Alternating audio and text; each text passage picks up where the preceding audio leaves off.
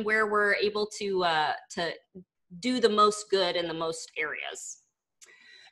So this class is an online live class, which means you can ask us questions. We are right here now to answer your questions. If they're relevant, we'll answer them right now. If they're not relevant, we'll just kind of wait till the end of class. Class will run for about an hour. It's two days a week. Um, this particular class theme, the whole theme for the for the week is called costumes and appearances. And we have eight classes for you since there's two classes a week. This class is human only, um, but feel free to bring your puppy and join us by by just carrying or holding. If your puppy's asleep, let them sleep. On Thursday, we're going to ask for you to bring your puppy to class because it's going to be interactive where you're actually working with your puppy in front of us. I'm Yo Armendariz. I'm the owner and founder of Canine Learning Academy, and this here is. I'm Julie Fryman. I'm one of the certified dog trainers and one of the managers at Canine Learning Academy.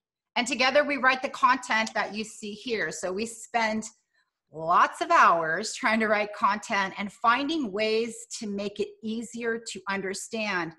Um, I like this platform because a lot of puppy owners can't get into a class specifically right now, but hardly ever. And now you can join anytime, whether you miss a week, you come back, it doesn't matter. The theme is set for the entire week. So if you miss this theme, it'll repeat in four weeks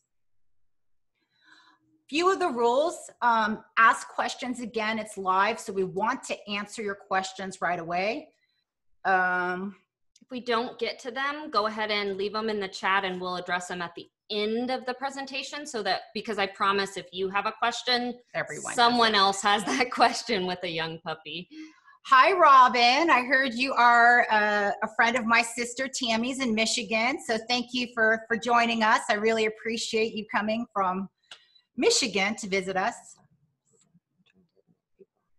Oops. We lost our cursor. Okay.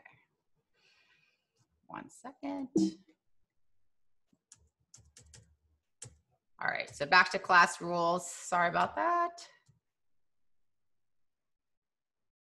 The class is free. And the reason why we put this particular class free is because we want to make sure that if you have a brand new puppy that we can help you get off on the right paw it's important that if you can learn and absorb some of this information that hopefully it sets a good foundation moving forward you'll notice that we never talk about um, fear using force or anything like that just set up for your puppy is just as important as the training that you you do later this is a list of the rest of the classes. So the puppy start right class after four consecutive classes or four classes, um, four weeks. So if you're taking two a week, then that's eight classes. Let us know because we can assign you the STAR certification. It's a certificate from the AKC. We'll ask you a few questions. We'll ask you to pledge as a good puppy um, owner, and, and then we'll send you a certificate on through email after puppies start right, it's prep school. Prep school is where we teach all of the basic behaviors loose leash walking, sit with duration, sit and wait at the door, um, recall. Um, even though we're going to hit a few of those behaviors in puppy start right, prep school is the course that you take, you know, for the next four to six to even eight months. After that class, we have the Canine Good Citizen. This is for public access, and this is the test it takes, the, the prep class to take the AKC Canine Good Citizen test. If you have an older dog or a dog that is reactive, specifically on leash to other dogs, we have a class called the Rowdy Rover. And then tricks class, suitable for any dog of any age. Tricks class is Saturday. we have a lot of kids that participate in this class with their with their puppies and it's so cute. So if you'd like to do some tricks classes sunday at 11 o'clock you'll see on the right hand side of this column i listed some of the classes that might be good for you.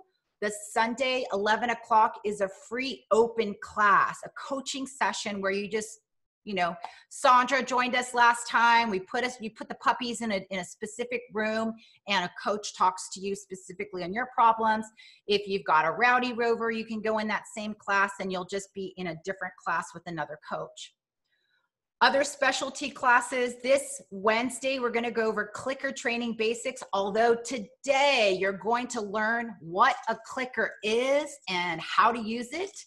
Um, so that's going to be a little bit today, but if you want to dive in deep, there's a whole hour class and that workshop is free. So welcome to our Puppy Start Right class. We will be having it every Tuesday and Thursday morning at 11 a.m. This is, our company never uses force or fear to teach our puppies because we know how important it is to maintain a positive relationship so they want to listen to you, they want to come to you, um, so it's a positive approach to problem solving, prevention. If we can catch those problems early, we can make sure you're not going crazy when they're a teenager.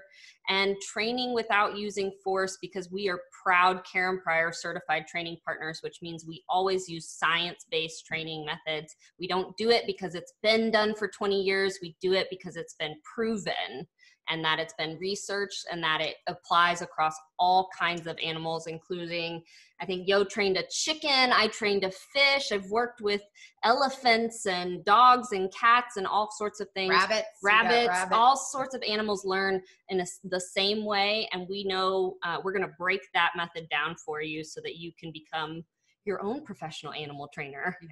This course is different than our prep class. This course, we really kind of dive into the why things happen. So, hopefully, with understanding why, you'll have a little more patience with your puppy. So, a little overview of today's class. Uh, we're specifically on what Puppy Start Right is. We're going to go into problem prevention. We're going to talk about the introduction to training, um, the foundation training exercises what are the basics like taking food from the from your hand as a basic foundation socialization and exposure and then learning a little bit about the body language um, and we're going to go into the developmental periods because your dog is going to go through a lot over the next two years. So we want you to understand the stages. So if something is strangely happening, you can kind of go, Well, how old is our puppy now? And you'll go, oh, that, yeah, they mentioned that earlier. We've got a few puppies that graduated and they're six months old, and the parents are like, oh my God, my dog's not recalling anymore. And we're like, well, how old? And, and then they go, yeah, the hormones and stuff like that. So being understanding of that can really help set up the future of your puppy and your training. So again, today is all about costumes and appearances. Today, we're going to talk about exposure to hats and chewing. So, if anyone's having problems with the dog chewing on furniture, jumping on you, we're going to talk about that. Sandra had mentioned chewing last week. So, hopefully, we're able to. People can jump in on their own now. Nope. One second. Keep going. So, uh, talking about enrichment projects that you guys can get doing you can get going started now with your puppies um, and the importance of all of these sounds and exposure in a positive way can set your puppy up for success for the rest of their life so um, making sure that you start with the basics before we just throw our dogs into those advanced agility and obedience yeah. courses if you have a strong foundation, you will have an advanced learner in much, much more quickly. So there's eight developmental stages when it comes to your dog's growth from the very, very beginning at birth all the way to our seniors. So today specifically, we're going to talk about the socialization stage, which is puppies three to 12 to 16 weeks. So if your dog is in that stage, go ahead and use the chat and type in yes, capital Y E S, that your dog is in that stage as we begin talking about what to expect in that stage. So during the socialization period so if you've gotten your dog from um, a reputable breeder a yes yes yes yes. If you've gotten your dog from a reputable breeder they should have exposed them to a lot of different noises and sounds and different places and people. Um, the crucial period unfortunately to have our dog experience all of these things is only until 12 months. 12 i mean 12 12 weeks or 16 weeks if you have a much larger dog like a giant breed. So, this is the time, it's a really small crunch period that you have to influence your dog's behavior and temperament for the rest of their life. And we see a lot of what happens when there's not, not socialization yeah. on the other side when we get calls at eight, nine, ten weeks because their dog is going crazy or they're having a heart attack about a thunderstorm. Um, so, if we can set our puppies up for success by exposing them to as many things as possible comfortably, calmly, and in a positive way, we can prevent things like reactivity and aggression towards dogs and other people, fearful situations, you know, dogs that don't experience a baby crying may be startled by that when they hear it for the first time out in public. We had um over the last six months, we've rehomed, helped rehome five dogs. Right. And most of the time it's right after I'd say like the six to eight month mark where people are realizing like this is a lot of work and the reactivity that they're that they're having from their dog at six to eight months if you you know if you're feeling feeling a dog that's all of a sudden 80 pounds and they're reactive um, can be really hard on life.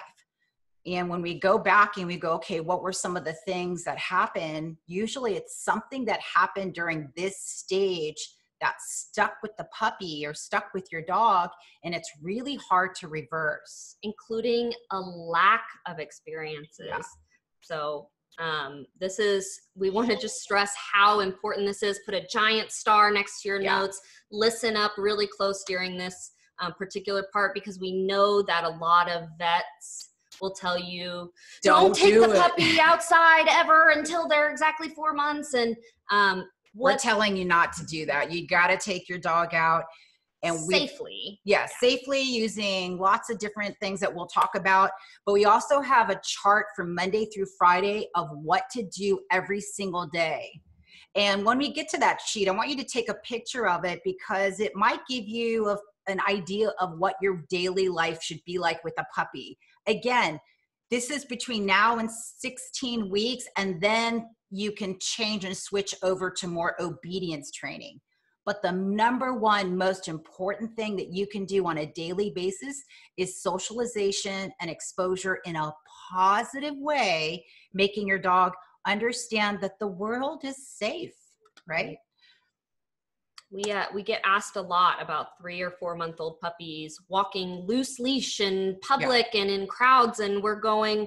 That's certainly not the point for a preschool or kindergarten age dog or person, um, it's to explore. Explore. So a little bit about body language. We are going to be doing this project. Most of these things that we're talking about, we're going to do on Thursday. One of the things that we want to talk about is puppy play. Most of you don't have another dog for your dog to play with. So it's important that your dog is still getting that essential play what is what are the few things that we tell our clients play is good for as far as a puppy play? So play is teaches your dogs what's socially acceptable inc- including greetings or initiation of play. Some dogs that uh, don't have practice at this they're rude. They're rude. They come in and they tackle or they hide under chairs because they're not sure about this jumping wiggling thing you can also start to read your dog's body language. The language that your dog specifically speaks is different from everyone else's dog. So, by getting down on the floor and looking them in the eye and bonding with them in that way, you understand them and they understand you. So, in this um, this puppy play video I'm going to play, we're going to do again on Thursday. I want you to practice this by putting up your camera, not right this second, but but when it's time, putting your camera up and setting it to slow motion so that you can watch your dog's ears go floppy and their mouth open so that you can understand the body language and will help you interpret what all those things mean. When your dog is stressed, your dog will have a lot of different other body language. How can they socialize now while still sh- sheltering in place? I can I heard the dogs can get virus too. So one there's been one recorded case of the virus being transmitted to a pug um, in one city. So yes, that has been a possibility, but it's certainly not spreading, and that is a rare, rare, rare case. Um, and this is part of socialization. So play what we're showing you right now. This is socialization. It doesn't necessarily mean face-to-face contact with everything they see or hear. Puppies learn not just by touch, but smell, sound, sight. So in our field trips, like we're going to, we have again the schedule for you. We're going to talk about how to do this safely in this moment right now, in this time when we have all of the restrictions. So we're going to answer that in just a second. Here's a video of what puppy play looks like. Here are the things. There is no rules. Wear a long sleeve. Tight pants. Read that. Um, wear yeah, wear long sleeve, put your hair up in a ponytail, and get on the floor and act like a dog because your dog needs it. They need to know what their teeth is for. Perfect. All right, Laura. All right. So here is puppy play. We call this human play. There's no toys. You get down on the ground as low as your dog is, just like another dog. You use your hands to move and you push and pull. And again, there's no rules. We want to see whether your dog is comfortable. Are they feeling fearful? But you become the dog that your dog always wanted. so through play, you're going to learn to bond with your dog. Your dog is going to love you, and you are your dog's best friend.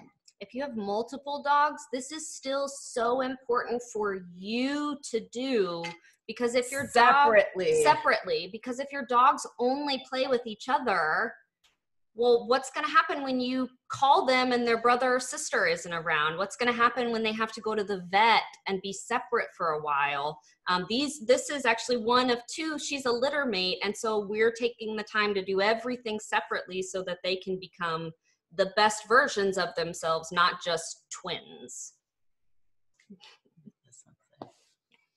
Hopefully, my two foster rescues can be socialized. Yes, a lot of times when we come across dogs who are fearful or unsocialized as older dogs, we take the time and go back to initial puppy steps. It may take you a longer period of time than it would a little sponge like a three month old, but you can still do the same steps. It's just going to be a longer process to make sure that you understand each dog individually. So we're going to play the video again. I want you to put your fingers on the keyboard and I want you to talk about the body language that I, cut it off. put the body language that you see. I want you to be specific. What are the ears doing? What does the mouth look like? Adam, we talked about this with Dar- Darla, Darla. and I want to see if you guys remember what body language is this particular dog giving us talk about the tail, which she has none, the ears, the mouth, the body weight. Is it forward or back? I want you to just type in what you see. So I'm going to play a little bit of this again. What to do when they bite hair or hands during this? Nothing. Nothing. This kind of play is no rules, just like it would be with another dog. If you can't handle that, we're going to talk, talk about, about ways how to alter that because some people have sensitive skin or they can't get down on the floor. But for this particular play that we're talking about today, put your hair up, roll your sleeves up, or have something tight. Don't wear your best Lululemon no. tights, right? Mm-hmm. Go get some PJ bottoms on or something and wear closed toed shoes because puppies bite, but that's how they explore the world. Without this, I had a dog that tr- we were training, and without understanding what their teeth are for, the bite inhibition, without practicing this, your dog has no idea moving forward what their teeth can actually do. It is super important to do this exercise with your dog, not just for bonding, but for your dog to understand what is acceptable and not acceptable. We put down a dog last year, or helped put down a dog last year, because in puppyhood at 16 weeks old, the dog bit somebody in the house. The person dropped the bone. And from that point on, that dog learned that the bite was the way to get what he wanted. And after two years, he had seven total bites, including the last bite, which was 110 stitches to a girl's face. So I can't express how important it is that your dog learns to use their mouth. And if it can't be on you, there's some other steps. There'll be some other play that we'll introduce each way each week. So it gives me the chills. Yeah. So. Yeah. All right, let's play this video one more time and talk about the body language that you're seeing. So you know what play looks like versus fear. So let's just kind of talk out loud. We see that the ears are kind of floppy. The body is moving curvy. Sort of curved, but her rear is maybe a little bit down. Like she doesn't have a tail, so it's hard to tell that This part. was her first play session. Mhm. First time ever with with Julie. Yeah. So here we see her looking away. That was a little bit of fear. She comes back again and she tries again. This time mouth is open. She's leaning into Julie. She is using her mouth. but she's also got that one shoulder down or she's putting half of her body down. This is what we call a play bow or a play posture. Did you see the mouth open right here? Now this is what she would do with another dog. See her try to snap at her ear? Thank goodness she didn't get it. Yeah. it. So I just moved my head and then I distracted her over here with my arms for her to chase. Um, again, keep your hair up. Don't wear your nice clothes. you can use your hands to move your dog away from you. So here, She started to get my glasses, so I just sat up a little to keep moving my arms and have her play that way. So Julie has this dog on a leash so that she can keep her contained within six feet. Did you see that little play the bounce? big jump. So she's building confidence every single time she comes back to Julie. She just gets a little more herself. Now, this is what we call the little scratch right here. like a pause or It's a stress signal right here. This little scratch, she's not itching. She doesn't have fleas or anything. She is literally like, okay, that was a little a stressful.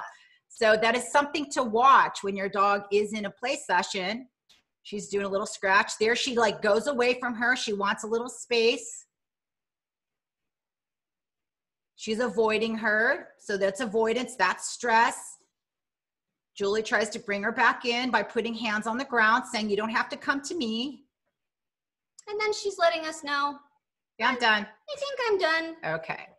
So when your dog is asking for space, you don't want to pull your dog in or crowd back in. Those of you that have children, kids sometimes don't read that body language. So it's important to understand, oh, my dog's feeling a little bit stressed. Let's give her space.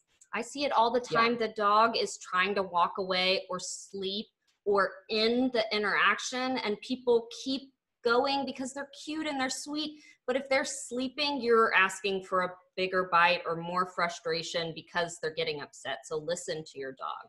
And if you don't listen, do you know what your dog does next? Bark.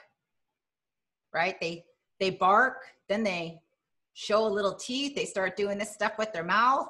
They might growl, they might really avoid you. So they escalate because they tried to communicate and you didn't listen. So it's important to listen when the very small signs that your dog needs space. Very good, Adam. If they're playing with a toy or a bone and you're petting them, it's not the right time to be petting them because they're occupying themselves and they're more likely to go, I'm chewing, now I'm chewing on you, than just enjoying what they're doing at that moment. Another way to watch your dog's body language is giving them an enrichment project. This is one of the enrichment projects we want you to do on Thursday. We want you to come with something that is metal in your cabinet. So, like a muffin tin, Or a cooking sheet if you don't have a muffin tin. So we want you to take a look at this video and watch the difference in body language. Now, this is a dog that's doing a task much tighter, more much concentrated look. I want you to understand like it's not the same body language as play, but it's still kind of fun. So here's the sign of a dog, uh, the look of a dog that wants to work. Right? The spinning, working together. These two young puppies are eating side by side, but they're they have a task to accomplish, so they're not paying attention to each other at all. Now, this seems super simple to us, but to a puppy, a stainless steel bowl with lots of different holes in it can be stressful. There's yogurt in there, there's pumpkin, and there's two types of their food. There's their kibble, and then we've got a topper on there. So their tongue they're using their paw they're using a lot of the things that they would use if they naturally caught a rabbit and tried to skin it so it's important that use enrichment feeders to help stimulate your dog's brain ditch the bowl go to our instagram or our facebook we have diy don't go out and buy really super expensive things we have diy instructions and games and enrichment ideas at least weekly for you guys to try with stuff you have in your home. You already have it. And so let's use it to challenge and to enrich our dog's life because I think we all are feeling a little lacking enrichment being stuck inside all the time. And that's how our dogs feel. All right, we have a it says the screen shows the menu and the video is only on the right side, somewhat obscured by the side of you and us. All right, let me move this around and tell me if this helps. So, is that better? Is that better, Sharon? You can also move the the video of us, I think. Yeah. There should be a way for you to. So let us know if you can see the video that's currently playing. So someone type in the chat yes or no. Looks good to us. Okay, yes. Cool. All right, perfect. So this is our socialization checklist. And this is what, when we get a puppy and board and train, we have exactly maybe two weeks or three weeks to get all of these done. And I know that can seem overwhelming, but a lot of this stuff is really easily accessible, even in COVID-19 world. Yeah. So things like hearing or seeing a sporting event, even if it's on TV or just the noises, crying babies. I bet you have a vacuum or access to a washing machine that your dog can just listen to. So take a look at this list, screenshot it if you'd like. We've got PDF files that we can attach to your email later on today and start checking off. One of your homework assignments is to check off some of the things that you've already done. Have you positive interaction with? If your dog has seen a cat, but that cat spit in their face, we're going to circle that and come back to that one. So here is an example of your socialization and exposure list, Monday through Sunday. So socialization and exposure, we did a different topic every single day. So for sound, okay, for sound, you can use the sounds on YouTube or on um, yeah YouTube TV, or TV, movies, Netflix. Standing out and hearing, you know, just things that are going on in your street, like kids playing or garbage trucks, that counts. This week's theme is costumes and appearances from people. Some of the examples that we'd like you to do this week is exposure to baby sounds. So you want to pull that up on your YouTube. You're going to do that by placing the YouTube video on a phone or an iPad pretty far away from your dog while they're eating. So I want you to do this every morning while you give your dog their interactive feeder at a volume that's very low. You may not be able to hear it, but your dog can hear it. After two minutes, and they're like, I, yeah, I don't care. You can turn the volume up just a little bit. Your goal is to be at full volume by the time if in four weeks. So the sound of babies, toddlers, preteens, male, you know, soccer game, um, sounds and now sight we have three field trips scheduled for you this week. Hopefully you can get to a coffee shop. We want you to take a go through the drive through um, i actually live across the street from starbucks. I walk over with the puppies and i'll pick them up and the lady through the drive through window the um, the will barista. give me a what's it called? Puppuccino puppuccino you can go to starbucks. I think they're 50 cents no, they're free. Oh, they're free. Yeah. And it's just a cup of whipped cream that your dog can have a nice experience while they're going to um, a coffee shop or a public place. And we have a video of that of little Miss Pearl like getting her puppuccino through a drive through at Starbucks. So just visit a drive through a supermarket, go into the parking lot of a supermarket, bring your puppy, carry them, and just kind of watch the interaction for about five minutes hear the grocery carts, see maybe the sliding doors or the lines mm-hmm. of people in mass. You don't have to get close. Nope. Obviously, social distancing is super important right now. So just being at an appropriate distance and watching and seeing, I mean, you'll watch your puppy's eyes get really big because that's their first time and their first exposure. So I did um Trader Joe's with my dog. There was a bench by Trader Joe's. I sat on the bench and brought my dog's lunch, and that's how we spent lunch or at a park, you know, on a bench while people walk by. But I like the grocery store right now because you've got a variety of people. You've got older men that have gray hair and you've got women you know wearing a mask so it's very odd so it's a great spot for your dog to see other people and see different costumes right um, if you have the opportunity to expose your dog to your postman or garbage truck Amazon guy, the yeah, delivery the man. Guy. Yep. So that's how you do sight. As far as smell goes, I have down there a couple days. I want you to change your odor. So you can do that by just changing your normal perfume, your body lotion, use a different shampoo, use different soap so that your dog gets used to a variety of different smells.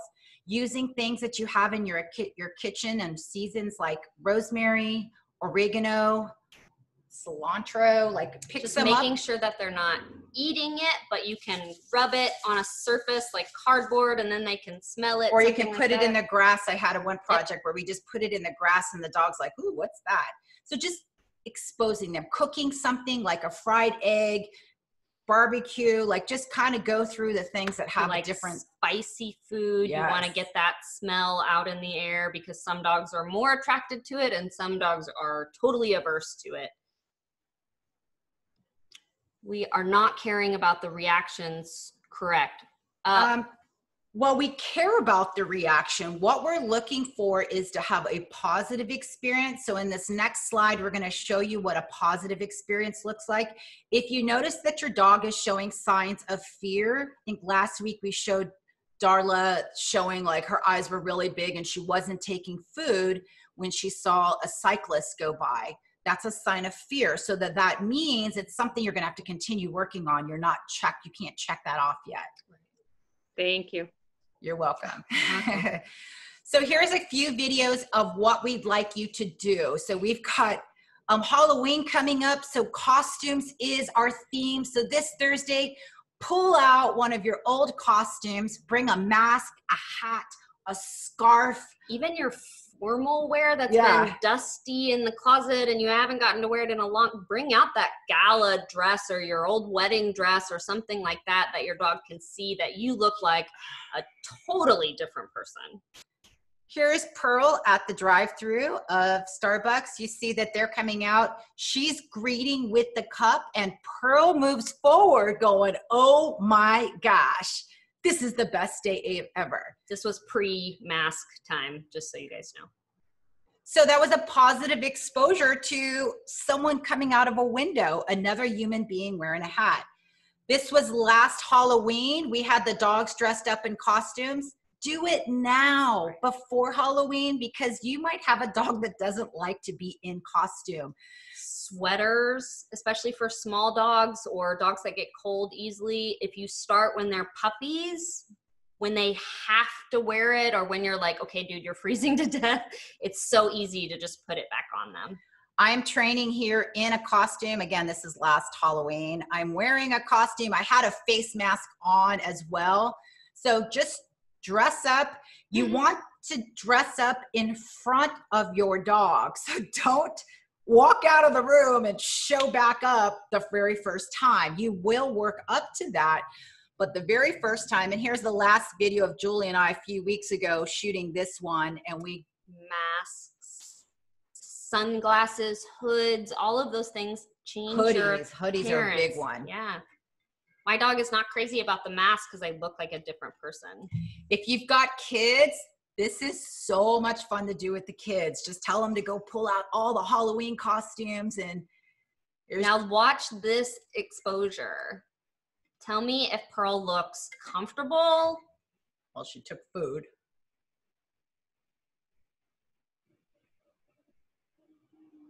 Yeah. But she's curved, she's pushed back a bit. She's not, her ears are kind of down. So it may be that because I just kind of came around the corner, it may be that I'm leaning forward. We don't know why, but she's telling me that I'm, I'm going too fast. Yeah. So I would either take off one part of my costume, I would try it again dressing in front of her, or I would just toss her food instead of leaning and trying to pet her. So be generous with your dog's food during this time so that they can have a great experience with whatever it is that you're trying to expose them to.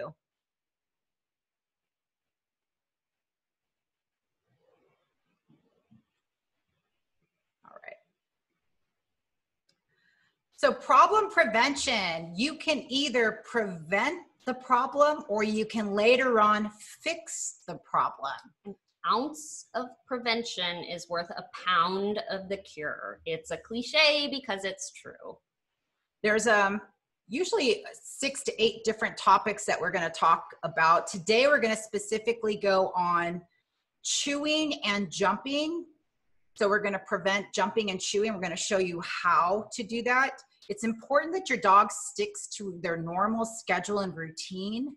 Um, and there's rules that you have set you know in in ground to everyone in the whole house that everyone's consistent so as far as like jumping goes whatever those rules are like do not pick your puppy up if your dog is jumping do not pet your dog or put your hands on them when they've got two paws on you and this is hard. Because they're really really yeah. cute and especially if they're small. Oh i don't mind.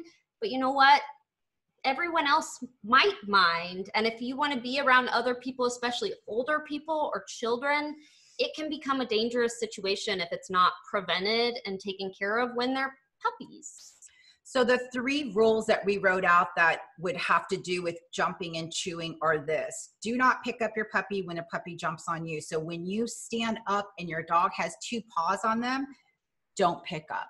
Don't even give eye contact either because when your dog is jumping on you, they're getting, they're asking for attention. So the moment you look down at them, you're giving them that attention.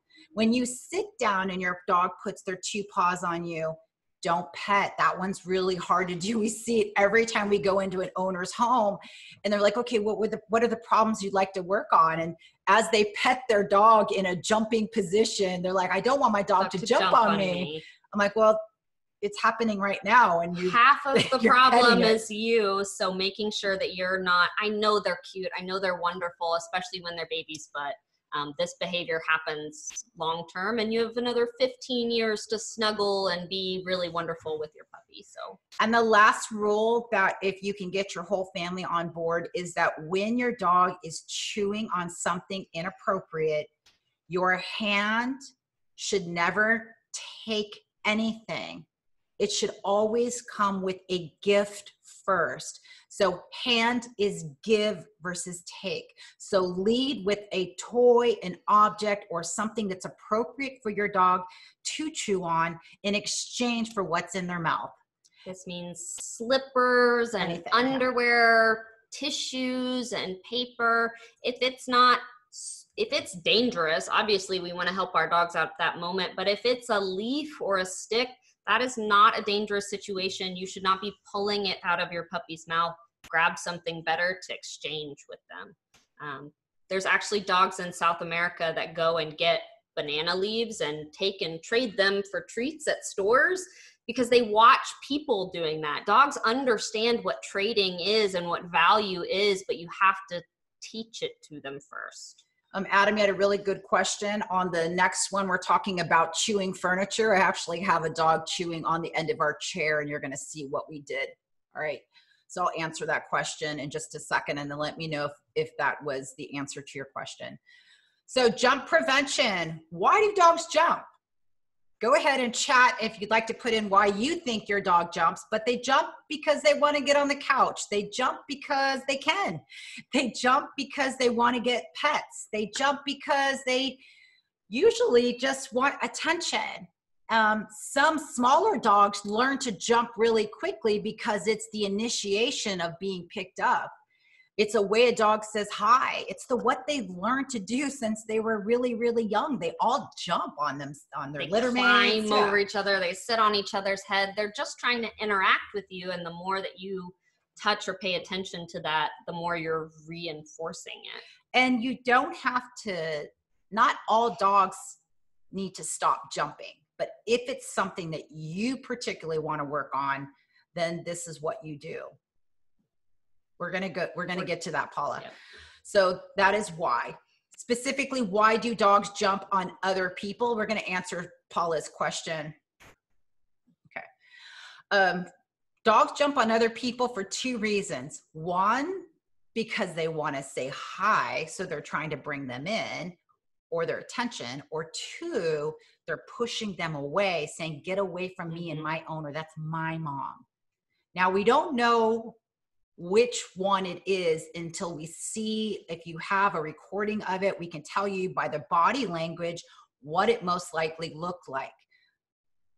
A jumping to come forward is going to look different than a jumping to get away.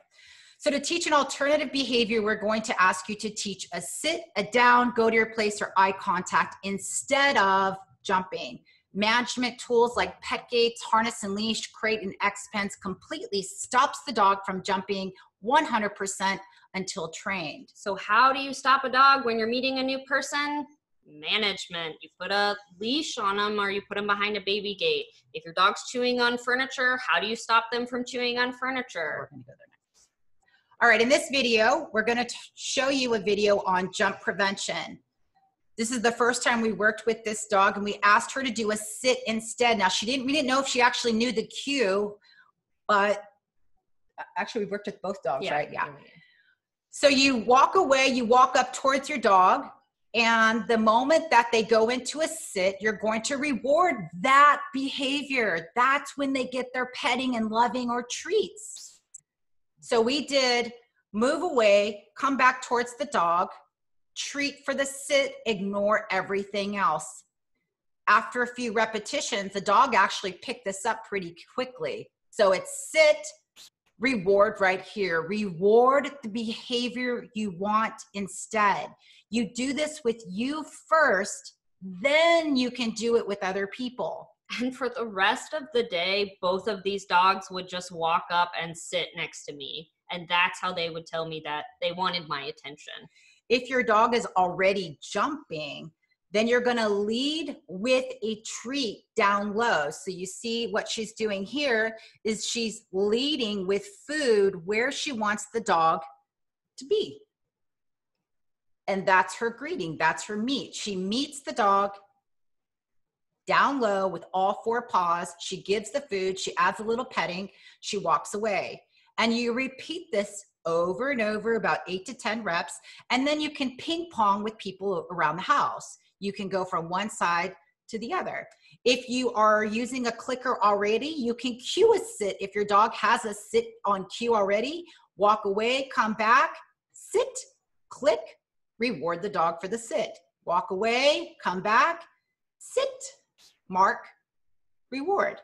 The reward is not always a treat, Megan. It could be just the petting and the attention but a treat is a super high value reward and it makes sure that your dog learns this quickly and associates it right away instead of adding a bunch of extra calories, use their kibble. Yeah. This you have a hundred pieces of rewards to use first thing in the morning. So instead of putting it in a bowl and just giving it to them, help them help reinforce good behavior right when it happens. These two dogs, these two puppies are eight weeks and five days. Yeah. So you can start this Day one. immediately. Some of the breeders start this at their puppies at six weeks. So um, start immediately. Is what kind of greeting do you want? Use your puppy's kibble. Use whatever the reinfor whatever the reinforcement is to your dog. So some like petting, some prefer food, some want their toy, but you're saying you need to say please. Please to us is usually sit instead of anything else or just four paws on the floor. Next is chewing prevention. Dogs chew because they have teeth. Um, they're exploring what their mouth can do and what their teeth can do. It's the same as a child, a six month old child learning to crawl for the very first time. If you've got anything on the floor, they're putting it in their, Their mouth, mouth. everything. So you normally put a, a playpen around a child, no different than a puppy. right? If it's on the floor and your puppy is on the floor, fair game. So most puppies are chewing to relieve stress or because they have a lack of stimulation. They're bored, they're trying to get your attention. They haven't Their been teeth their teeth hurt because they're teething and it's bone shoving through their face. And a lot of times it's because they have access and you're running after them right away when they're chewing on something. So they got your attention. Um, so we can help problem solve this by first managing the access, like Yo said, the X pen or a play pin, or having them in an area where everything in that area is theirs, right? I don't go into your room and take all of your stuff and then use it for myself. It's your room, everything in there is your stuff. So here are the steps to chewing prevention when your dog is chewing on a piece of furniture is approach with the toy, redirect to the toy and the toy should be something that your dog is allowed to chew. Even though a stuffed animal is going to get their attention because it's normally got like a floppy arm or tail, I would recommend more like a Kong or something your dog can put their teeth into, a Nylabone, um, something with rubber on it so that they can go back and start using their teeth the way that they want. And then you manage. So after you redirect your dog to another spot and say, How about here? How about coming down to this place and chewing on your bone? And I'll normally in this video, you'll see us redirect to one of the dog beds and then putting up something or tethering your dog to the dog bed while you're there supervised would be a better approach than just hey try that again. They go and then they come back to the to the furniture. I have walked into houses with clients that are like oh my gosh my dog chewed a hole in my wooden floor. My entire couch we had a german shepherd two weeks ago that chewed the entire couch left the dog by himself first time two years old in a house. You had a And- husky that tore the felt off a pool table. Um, also, the corners of houses, dogs love that. If it's accessible to your puppy, it is fair game. Yes. All right, so here's our chewing prevention video. Miss Pearl here is chewing on the piece of the bottom of the furniture. So Julie comes over with a chew toy that's got a tail. It's a duck with a rope and it's got a little squeaker. Now, at first, she doesn't really want to leave, so Julie makes it more enticing and brings her, she doesn't pick her up, brings her where she wants her to be, which is on the dog bed we recorded about three shots of this. So here's the second shot doing the same thing. Does anyone, can anyone guess what we did to record this? Because obviously she's not chewing on our furniture. You know, the movie trick we had to Yeah. use to get our mouth on there. Similar to Mr. Ed, the talking horse. So now Julie leashes her, gives her a bully stick, and now Pearl will go anywhere, right? Don't give them the option to go back and keep doing it.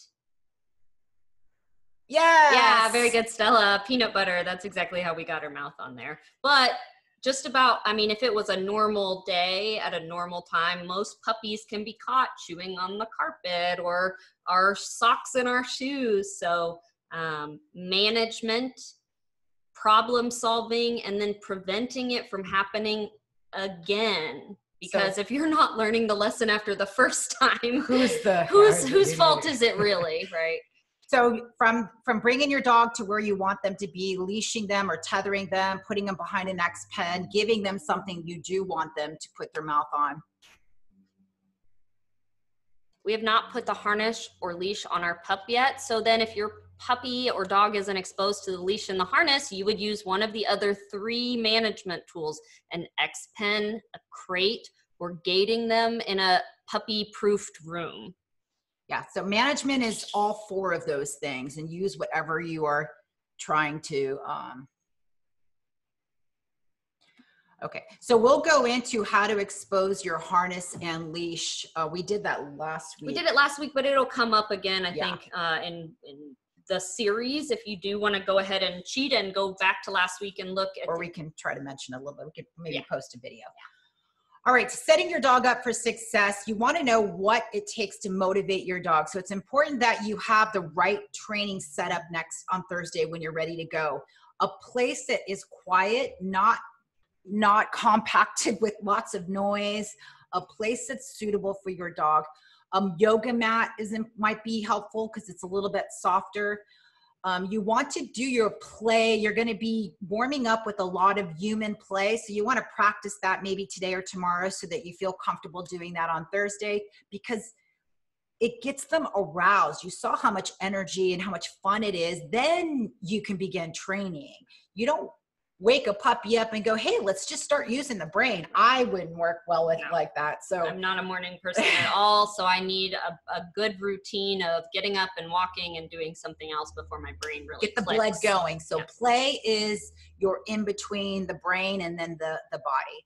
Um, you want to make sure your puppy's hungry, so you're going to hold off on their 11 their their midday meal, and maybe kind of go a little bit less on their breakfast, just to make sure that they're hungry and wanting to work. Um, strategically put their time that you have them going down at a time where they'll be awake at time for class. Rewards, you want to make sure that you're using a reinforcement um, that your dog likes. So testing the different toys, you know, bring out one toy and then the other and shape them and present both of them and go, which, oh, she likes this one instead. Then you're going to take that toy and put it up and go, well, we're going to save that for training. We're going to show you a little treat tournament that we do with foods, whether it's kibble or treats. What is your dog motivated to work for? And then we're going to talk a little bit about how to use a clicker, just a real brief discussion about it. Um, over the next four weeks, you're going to learn about how dogs learn capturing, shaping, targeting, and luring. These are the methods that we use for training. Today, we're going to talk a little bit more about capturing. What, what do you see, Bentley? Um, loading a marker. A marker is designed to tell your dog it's like snapping a picture during a video and the moment that that picture whatever that picture captured is the moment your dog did something correct. In charades we do this when we're not talking right? You do this to say you're done guessing. That was exactly the right thing you did. So in this video we're going to show you how to load a clicker a clicker is just an acoustic sound that it's a lot more precise than trying to use a verbal marker, a different kind of marker. I mean, if you use a, a, marker like good girl, but then you use it outside and it sounds a little different, your dog doesn't know whether they're getting a, a reinforcement, a reward like a treat, or you just saying good girl that questions or? No. Uh, we understand that it's uh we have about one minute until noon. If you need to log off thank you so much for joining us. We'll have the rest of this posted in our private facebook group private canine learning academy question and answer. So um, search us on that facebook and you guys can catch up if you have to go for a meeting or school all right, so to load a clicker or load a marker is you're going to keep your hands in a very neutral position and you're going to make that sound of the click or you're going to use a verbal marker like yes, and then you're basically going to just offer a treat. So it's a mark, click, and then a treat so that the dog hears that sound and then puts it together with food. So it's mark and then food. So we use a clicker, so we call it click, but you can use any kind of verbal marker. And I'll have the link to these on Amazon, really. But a mark is a promise that a reinforcement is coming. So if it's being, if you have kids and they're pressing it all the time and nothing's happening after, it really loses its value. So again, this puppy is under nine weeks old and we loaded a clicker two days ago. Couple days ago. So now the dog is a clicker trained dog, which means she's he's ready to work when we come out. He wants to learn something new and understands that the click means he did it, whatever it is that we're asking for correctly, and that we promise to bring food.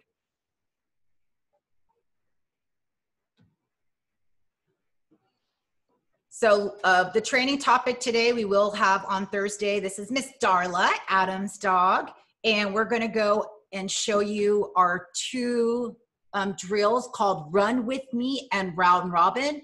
This is recall. This is come when called. This is one of the number one most important behaviors that you can teach your dog. And here are the steps. Give your dog a treat for no reason run away from your dog and look over your shoulder when you see that your dog is running towards you that is recall following you is recall you're going to turn around greet your dog right then and there and reward them for that movement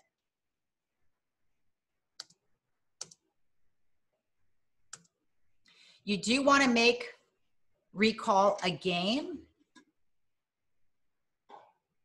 Don't wait until you need this when your dog runs out the door and you're going, ah, come. Start when they're puppies so that you know when you need it, it's there. She's gotten so much more confident. Yeah. So you see Julie just she's ignoring all of that, and that's okay. That's not what the purpose of this is. It's trying to make coming to you a fun game. Those of you that just got your puppies, you know, just a few days ago, you can start this immediately find a room your dog is comfortable in, take a few steps away, see that your dog's coming, turn around and reward them with love, petting. At the end, I didn't even need a treat for her. You could see she's just excited to come and run and play with me and chase. So, um, this is a lot of fun. If your dog is already doing this and it's reliable, you're ready to put a cue on it. You're ready to put a word that means come to you. So, if you've got five or six um, good repetitions, you can say a cue like come or here. Here is what we call round robin. If you've got two people in the home, you have them going back, back and we have the dog going back and forth, doing the exact same thing. We had about five treats each. So we did 10 repetitions in less than 90 seconds. It was quick. Making sure everyone in the house can recall your dog because it's one thing if you can do it. It's another thing if your husband or your kid can do it. So practice as a family. This is the introduction to recall. Puppy treat tournament, you want to find out exactly what your dog is your what what is your motivation? What's your dog's motivation? So the puppy treat tournament is getting a plate full of food, um, lots of different things like try kibble, try turkey meat, try the if you have a topper of some kind, give your dog one of each and see which they take. And the one that they take becomes the winner of that challenge. Try eight different things and narrow it down to the one prize winner.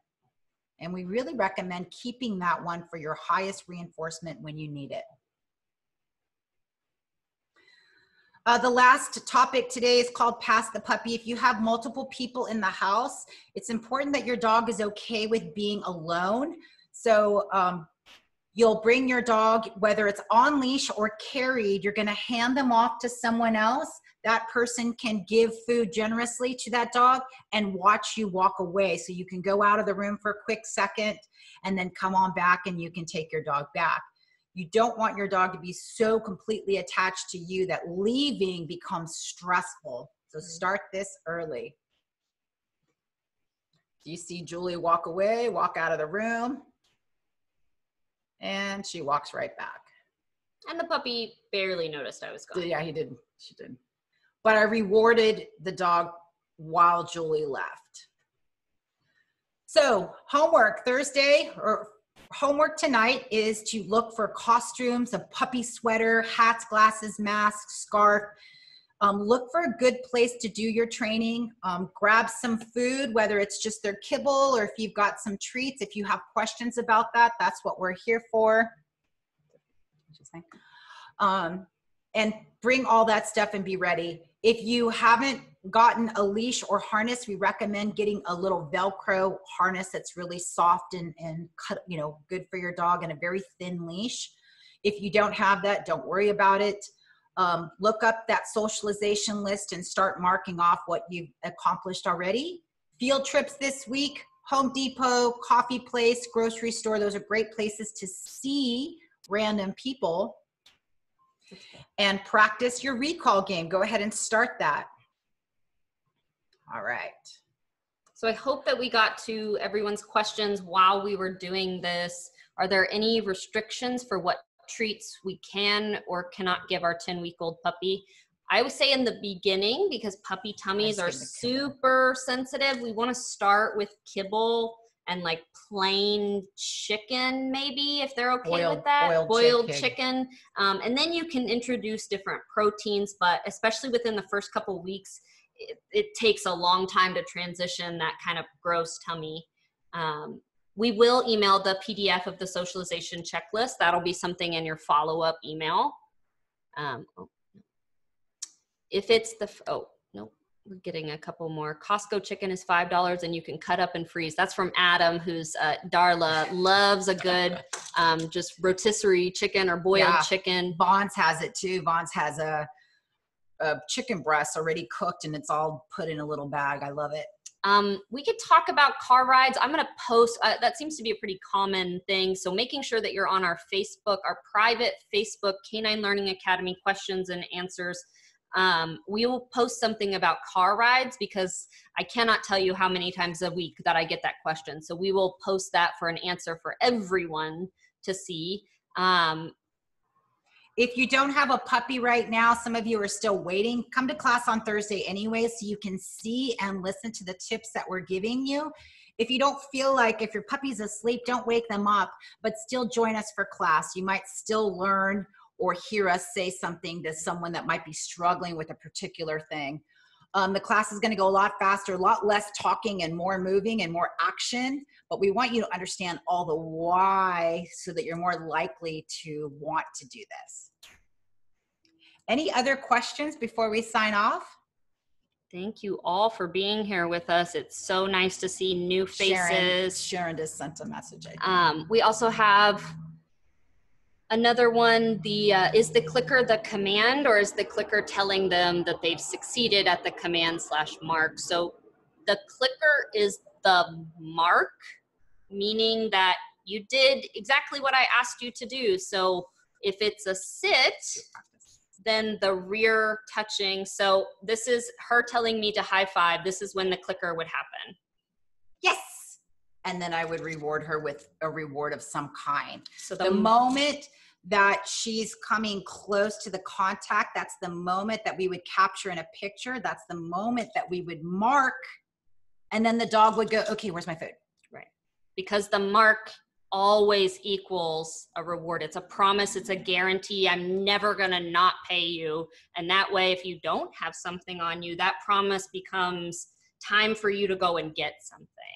the other thing is that we use shaping so let's say i'm trying to teach someone i've never met before a high five i might just put my hand here and she starts just moving her hand i might mark that and then reward her and wait for her to do something a little bit more. So we when we're working with dogs they're they don't understand us. So we let them just we motivate them by marking and rewarding to get them going and then we wait for more position position precision or more movement towards the final project. So like in recall your dog might not initially come to you but if they look at you that's a good start. And then if you're you're marking and rewarding that movement towards you to finish that becomes something your dog learns like the sit that we did with those puppies by the third sit they just walked up and sat we didn't have to say anything we just like literally stood up there and they came over and sat and they learned from that point. And they're when they went home, the mom was like, "Oh my God, what did you do? My dog is sitting for for no reason all the time." Yeah. So Sharon, I'm going to send you, please email us because we have a rescue um, new dog workshop that's going to answer a lot of the leash and the harness questions.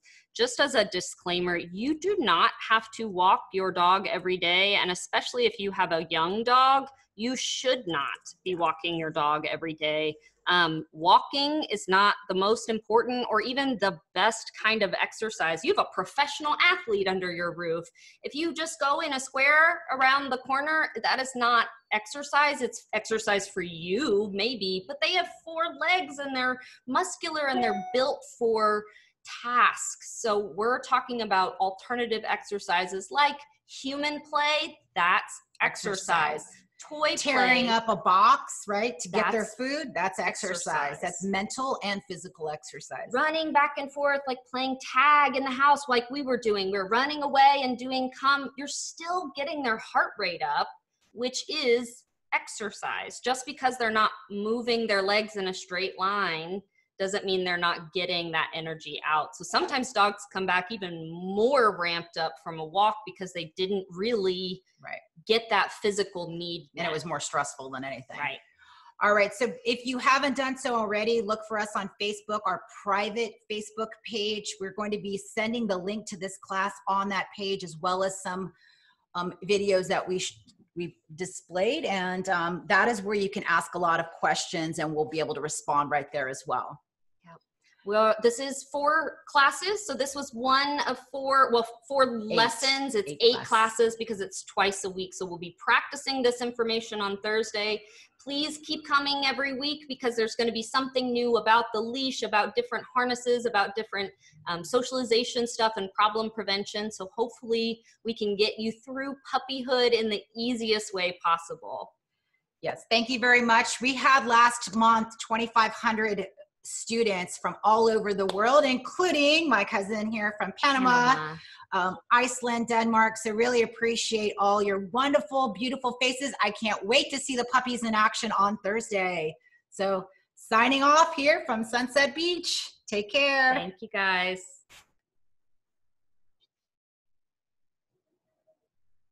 Bye, Sharon. Bye.